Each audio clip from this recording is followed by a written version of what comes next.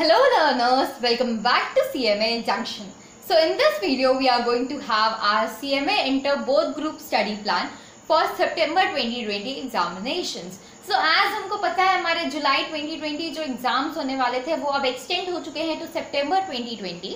सो so, आपको किस तरीके से प्रिपरेशन करनी है so, वो हम यहाँ पे डिस्कस करने वाले हैं नॉर्मली हमको पता है हमारे जो ये बोथ ग्रुप के एग्ज़ाम्स है वो फ़र्स्ट सितंबर से स्टार्ट हो रहे हैं और आपका ये एंड होगा टेंथ सितंबर को। सो so, आपको uh, कैसे डिविजन किया गया है? फ़र्स्ट सेकेंड थर्ड फोर्थ को आपका एग्ज़ाम होगा। फिफ्थ सिक्स सैटरडे संडे आपका लीव है।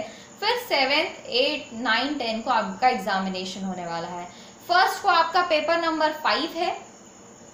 सेकेंड को है आपका paper number nine third paper number six and paper number ten फिर उसके बाद सेवेंथ को आपका पेपर नंबर सेवन है एंड एट्थ को आपका पेपर नंबर इलेवन का एग्ज़ाम है नाइन्थ को paper number eight and twelfth tenth को आपका पेपर नंबर ट्वेल्व का एग्जामिनेशन है। तो so, इस तरीके से डेट वाइज डिविजन किया गया आपका टाइम टेबल पे। अब हम आते हैं कि हमको स्टडी कैसे करना है बोध ग्रुप की प्रिपरेशन कैसे स्टार्ट करें। सो so, प्रिपरेशन के लिए अभी देखा जाए तो हमारे पास 68 डेज़ अवेलेबल है फ्रॉम ट्वेंटी जून 2020 से अगर आप स्टार्ट करते हैं तो आपके पास टोटल 68 डेज़ अवेलेबल है जिसमें आपको अपना पूरा प्रिपरेशन करना है एग्ज़ाम्स के लिए। ठीक है? सो so, ये 68 डेज़ को हमने तीन पार्ट में डिवाइड किया है। First 30 days second 30 days and last के 8 डेज़ फॉर रिविजन ठीक है? एज आप अभी से स्टार्ट कर रहे हैं तो आपको एज पूरा बोध ग्रुप देना है तो आपको थोड़ा एक्स्ट्रा टाइम देना पड़ेगा। यहाँ पे आपको प्रिपरेशन के लिए देने पड़ेंगे आठ घंटे। ठीक है? एट आवर्स आपको देने पड़ेंगे for preparation first thirty days plan में हम स्पेसिफिकली फोर सब्जेक्ट्स प्रिपेयर करेंगे और सिर्फ़ एक ही ग्रुप के फोर सब्जेक्ट्स को हम प्रेफर करेंगे यहाँ पे, ठीक है? ताकि हमको ऐसा तो एक्चुअल में कि हमने एटलीस्ट एक ग्रुप को अच्छी तरीके से तैयार कर लिया, ठीक है? सो आपको हर एक सब्जेक्ट को दो घंटे देने हैं डेली और आपको चार सब्जेक्ट करना है ये फ़र्स्ट थर्टी डेज़ में तो इन टोटल आपको आठ घंटे की प्रिपरेशन करनी है। सो so, हमने यहाँ पे financial accounting law and ethics drawing direct tax and cost accounting यहाँ पे रखा है। सो so, आपको टू आवर्स डेली देने इन दैट केस पर subject two hours and total आपको एट आवर्स डेली यहाँ पे देने पड़ेंगे। सो so, अगर इन टोटल देखें तो थर्टी डेज़ में आप हर एक सब्जेक्ट को सिक्सटी आवर्स देने वाले हैं जो कि बहुत इनफ है आपके प्रिपरेशन के लिए। अब ध्यान दीजिएगा यहाँ पे फाइनेंशियल अकाउंटिंग के वीडियोस हमने आपको प्रोवाइड करके रखे हैं। डायरेक्ट टैक्स के वीडियोस हमने आपको प्रोवाइड करके रखे हैं और साथ साथ कॉस्ट अकाउंटिंग में स्पेसिफिकली एक ही टॉपिक का हमने अभी तक प्रोवाइड किया that is process costing so ये सारी वीडियोस को भी आप यूज़ कर सकते हैं। मैं लिंक आपको नीचे डिस्क्रिप्शन पे प्रोवाइड कर दूँगी। इसके साथ साथ नेक्स्ट आते हैं, ये हो गया फ़र्स्ट थर्टी डेज़ प्लान जिसमें आप फ़र्स्ट ग्रुप को स्पेसिफिकली फोकस कर रहे हैं, ठीक है? और आठ घंटे की पढ़ाई कर रहे हैं। नेक्स्ट थर्टी डेज़ प्लान में अगर हम आए तो नेक्स्ट थर्टी डेज़ प्लान में भी हमको डेली फोर सब्जेक्ट करने हैं। दैट इज़ एट आवर्स की पूरी स्टडीज़ करनी है फॉर ग्रुप टू पेपर्स ठीक है? So O M S M cost and F M indirect tax company accounts and audit ये चार सब्जेक्ट्स आपको यहाँ पे कवर करने हैं जिसमें से सारे के सारे के वीडियोस मैंने आपको प्रोवाइड करके रखे हैं। सिर्फ़ इनडायरेक्ट टैक्स के अमेंडमेंट्स मैंने यहाँ पे प्रोवाइड नहीं किए हैं बाकी O M S M cost and F M indirect tax and company accounts and audit चारों के मैंने वीडियोस आपको प्रोवाइड करके रखे हैं। सो so, लिंक मैं आपको नीचे डिस्क्रिप्शन पे दे दूँगी ताकि आप इजीली वहाँ पे जाएँ और ये सारे को देखें। साथ साथ हमने हैंड रिटन नोट्स भी आपको प्रोवाइड किए जो कि आप इनके साथ यूज़ कर सकते हैं। आज हमारे पास टाइम कम है। सारे नोट्स प्रिपेयर करना आपके लिए पॉसिबल नहीं हो पाएगा तो आप वो नोट्स को भी ज़रूर यूटिलाइज कीजिएगा। ठीक है? सो आठ घंटे हमको पढ़ना है सेकेंड ग्रुप के सारे सब्जेक्ट्स के लिए। ध्यान दीजिएगा, आज हमने फ़र्स्ट ग्रुप के सारे सब्जेक्ट्स पहले थर्टी डेज़ में कंप्लीट कर लिए उसके बाद हम नहीं करने वाले हैं उसको तो उसका रिविजन करना ज़रूरी है। है ना? सो so, रिविजन के लिए आपको daily one hour group one के सब्जेक्ट को देना पड़ेगा। आप चाहे तो इस टाइम को बढ़ा सकते हैं क्योंकि जितना ज़्यादा रिविजन के लिए आप एक्सटेंड करेंगे उतना ज़्यादा आपके लिए अच्छा होगा। मैंने मिनिमम टाइम बताया है क्योंकि आठ घंटे आप पहले ही ग्रुप टू के सारे सब्जेक्ट्स को दे रहे हैं। सो so, आप उससे ज़्यादा नहीं दे पाएँगे इसलिए हमने सिर्फ़ वन आर रखा है ग्रुप वन के सब्जेक्ट्स के लिए। ध्यान दीजिएगा रिविजन बहुत इंपॉर्टेंट है। रिविजन नहीं करेंगे तो पॉसिबल नहीं हो पाएगा एग्ज़ाम्स निकालना ठीक है?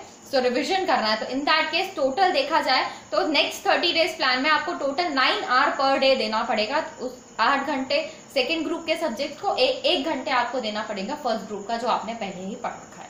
ठीक है? एक और चीज़ ध्यान रखेगा जैसे कि मैंने आपको आठ घंटे पढ़ने बोला है। सो so, मैंने आपको स्पेसिफिकली सिर्फ़ एक ही सब्जेक्ट के लिए आठ घंटे नहीं बोला है। हर अलग अलग सब्जेक्ट्स के लिए आपको आठ घंटे देना है मतलब हर रोज दो घंटे और चार सब्जेक्ट डेली पढ़ने ऐसा नहीं होना चाहिए, एक दिन दो सब्जेक्ट पढ़ रहे हैं, अगले दिन एक सब्जेक्ट पढ़ रहे हैं, फिर एक सब्जेक्ट पढ़ रहे हैं, ऐसा करेंगे तो कंसिस्टेंसी मेंटेन नहीं होगी। आपको कंसिस्टेंसी मेंटेन करना बहुत ज़रूरी है। इसीलिए जैसा मैंने बताया है प्लान उसी को फॉलो कीजिए। जिस तरीके से मैंने आपको बताया है, आठ घंटे आपको पढ़ना है तो आठ घंटे ज़रूर पढ़िएगा। अब ध्यान दीजिए एज पता है मुझे भी कि लॉकडाउन चल रहा है तो पॉसिबल नहीं हो पा रहा है आपके लिए भी पढ़ना तो टाइम को थोड़ा डिवाइड करना सीखिए। आपको क्या करना है? आपके पास इन टोटल 24 फोर आवर्स बच है पूरे दिन भर में, है ना? इसमें से आठ घंटे अलग कर लीजिए आपकी स्लीप के लिए। दो घंटे अलग कर लीजिए फ्रेश होने के लिए, ठीक है? और आपके, उसके बाद अब दो घंटे अलग कर लीजिए आपके डिनर ब्रेकफास्ट लंच इन सब के लिए, ठीक है? सो हमने अलग कर दिए पूरे बारह घंटे यहाँ पे। हमने यहाँ दो घंटे और अलग कर दिए तो इन टोटल बारह घंटे हमने अलग कर दिए। अभी भी हमारे पास ट्वेल्व आवर्स बच रहे हैं। ये ट्वेल्व आवर्स में आपको सिर्फ़ आठ घंटे देना है, चार घंटे एक्स्ट्रा आपके पास बच रहे हैं, जो कि आप बाकी सारी चीज़ों पे ध्यान दे सकते हैं। ठीक है? सिर्फ़ आठ घंटे आपको निकालने हैं अपनी पढ़ाई के लिए। आठ घंटे पे डिवीज़न कर लीजिए। एक बार में मत बैठिएगा। अलग अलग टाइम पे बैठिए, सुबह दो घंटे बैठिए, फिर ब्रेक लीजिए, फिर दोपहर को दो घंटे बैठिए, फिर ब्रेक लीजिए, फिर शाम को दो घंटे बैठिए और एट लास्ट रात को दो घंटे बैठिए। इस तरीके से डिविजन कीजिएगा। ठीक है? सुबह सुबह प्रेफर कीजिएगा थ्योरी सब्जेक्ट जैसे कि लॉ एंड एथिक्स है, उसको सुबह पढ़ लिया आपने। ठीक है? फिर फाइनेंशियल अकाउंटिंग कर लीजिए, फिर उसके बाद डायरेक्ट टैक्स कर लीजिए, फिर कॉस्ट अकाउंटिंग कर लीजिए। सिमिलर वे में सेकेंड ग्रुप के लिए भी आप डिवाइड कर सकते हैं। पहले इनडायरेक्ट टैक्स कर लीजिए या फिर पहले ऑडिट कर लीजिए, फिर ओएमएसएम कर लीजिए, फिर कॉस्ट एंड कर लीजिए, फिर इनडायरेक्ट टैक्स कर लीजिए। तो इस तरीके से आपको पूरा डिविजन करके चलना पड़ेगा। नेक्स्ट हम आते हैं तो एट लास्ट हमारे पास एट डेज़ बचते हैं। ये एट डेज़ रिविजन प्लान में आपको करना क्या है? सो so, ये जो लास्ट के एट डेज़ हमारे पास बच रहे हैं इसमें स्पेसिफिकली आप क्या कीजिएगा?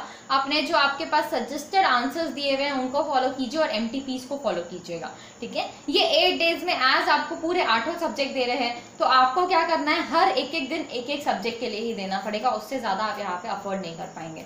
है ना? सो so, आपको क्या करना है? सिर्फ़ एक एक दिन एक एक सब्जेक्ट के लिए देना उल्टा चलना है। सबसे पहले पेपर नंबर ट्वेल्व का रिविजन कीजिए, फिर एट का, फिर इलेवन का, फिर सेवन का, फिर टेन का सिक्स का नाइन का फाइव का एट लास्ट फाइव का कीजिएगा, क्योंकि फ़र्स्ट पेपर आपका फाइव ही होने वाला है। ठीक है? इस तरीके से आप रिविजन कीजिएगा। ध्यान रखिएगा, जो फ़र्स्ट सिक्सटी डेज़ आप ये प्लान फॉलो कर रहे हैं, इन सिक्सटी डेज़ में आपको स्पेसिफिकली क्या फॉलो करना है?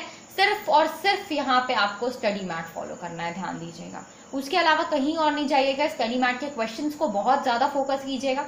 ध्यान दीजिए, अभी भले आपका कोरोना वायरस है, लेकिन आप उस पर इतना ज़्यादा फोकस नहीं कर सकते हैं।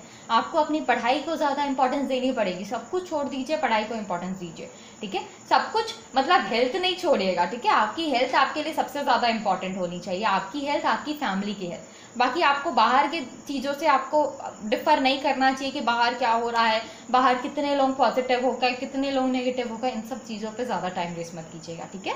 आपको अपनी पढ़ाई पे ज़्यादा फोकस करना है, अपनी हेल्थ पे फोकस करना है, अपनी फैमिली पे फोकस करना है। सिर्फ़ इन सब चीज़ों पर फोकस कीजिए, उसके अलावा कुछ भी चीज़ से आपको कोई भी मतलब नहीं होना चाहिए। ठीक है? अभी के टाइम पे सिर्फ़ आपको अपनी पढ़ाई पे सबसे ज़्यादा इंपॉर्टेंस देनी है, क्योंकि आपके एग्ज़ाम्स के लिए एज इंस्टीट्यूट ने भी आपको बहुत टाइम दे दिया है। आप अच्छी तरीके से प्रिपेयर कर सकते हैं। सो इस टाइम को बहुत अच्छे से यूटिलाइज कीजिएगा। बस मैं इतना ही बोलूँगी। बाकी आपके ऊपर है, आपको अपनी कंसिस्टेंसी मेंटेन करनी है। मैंने बहुत सारी चीज़ें आपके लिए प्रोवाइड करके रखी है। उन सबको अच्छे से यूटिलाइज कीजिए। मैंने अपनी तरफ़ से अपना फुल देने की कोशिश की है। आपको बस अपनी तरफ़ से अपना परफेक्ट देना है। अपने एग्ज़ाम्स के लिए। ठीक है? So all the best I hope ये वीडियो आपके लिए हेल्पफुल रहेगा। और अगर आपको ये वीडियो हेल्पफुल लग रहा है तो प्लीज़ अपने फ्रेंड्स के साथ भी शेयर कीजिएगा, जो कि बोथ ग्रुप दे रहे हैं। आज जितनी ज़्यादा हेल्प आप दूसरों की करते हैं ना, उतनी ज़्यादा हेल्प आपकी खुद की होती है। ठीक है? So all the best and if you found this video helpful so please video को लाइक कीजिएगा शेयर कीजिए सब्सक्राइब कीजिए and don't forget to press that bell icon to get more updates so that's it see you all in the next video